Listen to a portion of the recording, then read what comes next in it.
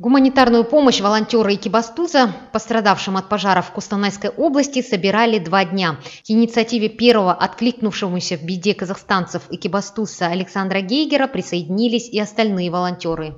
Мы, волонтеры э, города Экибастуза, подхватили инициативу а, Александра, который открыл по своей инициативе сбор а, гуманитарный для Кустанайской области. Объявили э, сбор на Павлодарской 10.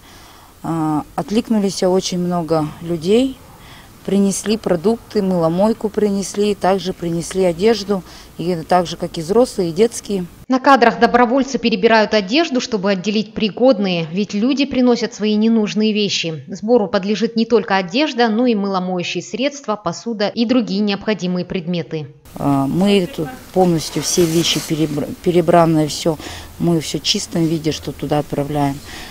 А, нашим ребятам облегчить именно для волонтеров Кустанайской области, облегчить им, чтобы они не перебирали. По прибытию наших ребят в Кустанайской области а, узнают конкретно, в чем нужна уже действительности помощь, потому что а, на данный момент я с ребятами из Кустанайской области, с волонтерами я на связи.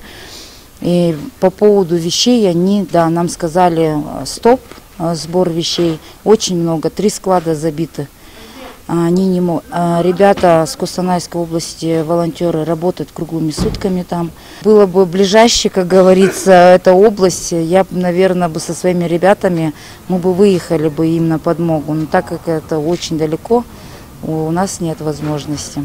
В сборе гуманитарной помощи участие приняли волонтеры Центра развития молодежных инициатив, добровольно-поискового отряда «Вита», поисково-гуманитарного отряда «Экибастуц» и поисково-гуманитарного отряда «Легион-14». Транспорт предоставил «Газель-клуб Экибастуз». Отправка груза состоялась вечером 6 сентября.